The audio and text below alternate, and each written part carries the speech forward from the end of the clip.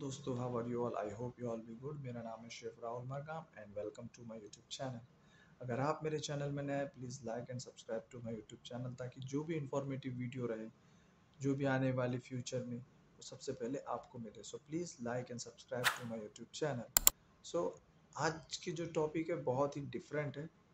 कुछ लोगों को पता होगा शायद, और कई लोगों को नहीं पता होगा।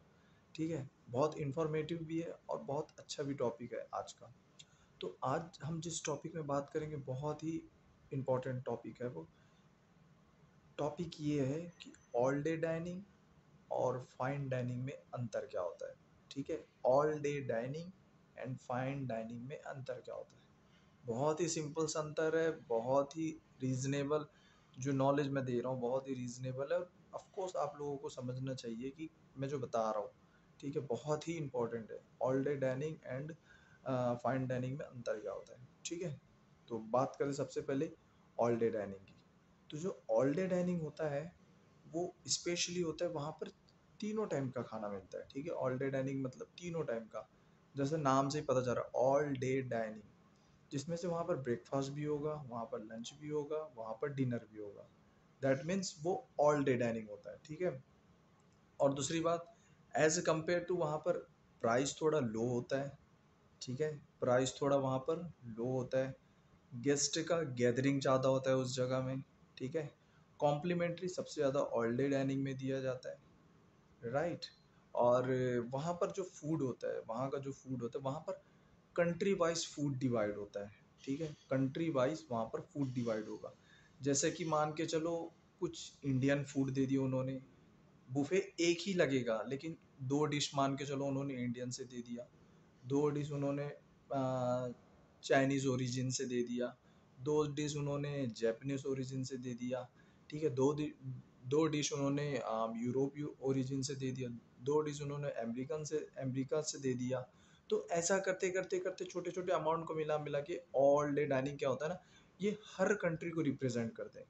वो एक सिमिलर टाइम में, ठीक है? वो हर कंट्री के डिश को प्रेजेंट करते हैं, वहाँ पर अवेलेबल कराते हैं।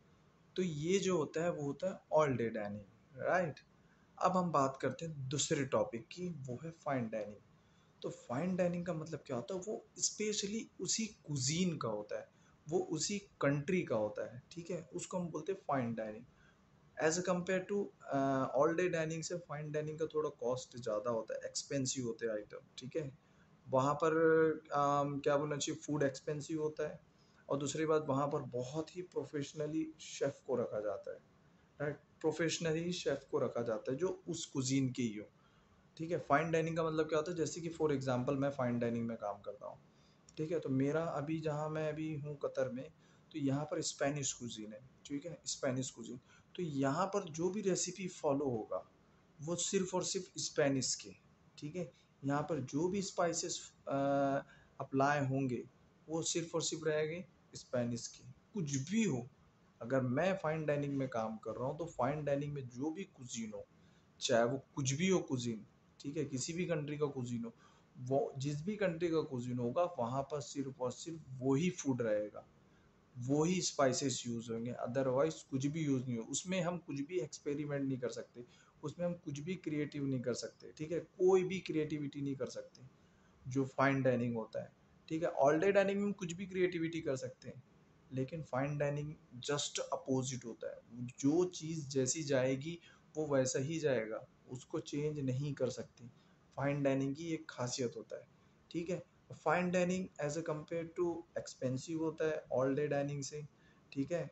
और फाइन डाइनिंग में गेस्ट कम आते हैं, ठीक है? गेस्ट कम आते हैं, क्योंकि जिनको नॉलेज होता है फ़ूड का, ठीक है?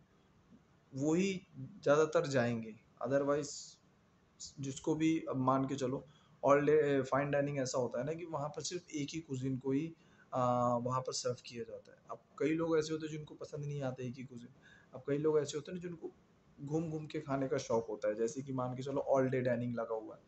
ठीक है? ऑल डे डाइनिंग लगा हुआ तो ऑल डे डाइनिंग में क्या होता है ना, हर कंट्री के फ़ूड वहाँ पर होते हैं। तो ज़्यादातर जो गेस्ट होते हैं वो कहाँ जाते हैं ऑल डे डाइनिंग में, क्योंकि उनको एशियन भी मिल रहा है ठीक है, उनको अमेरिकन भी मिल रहा है, उनको यूरोपियन भी मिल रहा है तो हर कंट्री का उनको फ़ूड मिल रहा है, जो उनको पसंद आ रहा है, वो अपने पसंद के अनुसार खाएँगे। लेकिन जो फाइन डाइनिंग होता है, वो जस्ट अपोजिट होता है, ठीक है, वो सिर्फ़ और सिर्फ़ किसी एक कंट्री को रिप्रेजेंट करेगा, वो उसी को फॉलो करेगा, उसी की रेसिपी वहाँ पर फॉलो होगी, कुछ भी वहाँ पर क्रिएटिविटी नहीं किया जाता है। तो यही होता है डिफरेंस फाइन डाइनिंग और ऑल डे डाइनिंग में।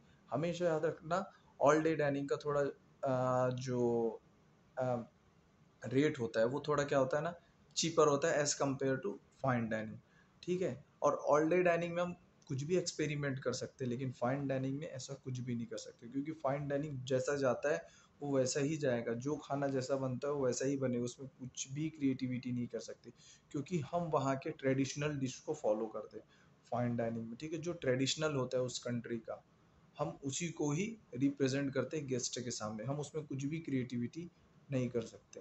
ठीक है? तो आज के टॉपिक में सिर्फ़ इतना ही बात करेंगे। तो पता है, आप लोगों को मैंने बताया fine dining and all day dining में अंतर, जो बहुत ही, बहुत बहुत इंपॉर्टेंट है।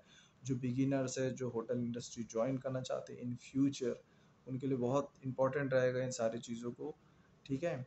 तो यही एक छोटी सी बात है, जो मैं बताने वाला था। हर दिन आऊँगा, हर दिन वीडियो डालूँगा, कुछ ना कुछ नए टॉपिक में हम बात करेंगे। सो आज के लिए सिर्फ़ इतना ही। सो बाय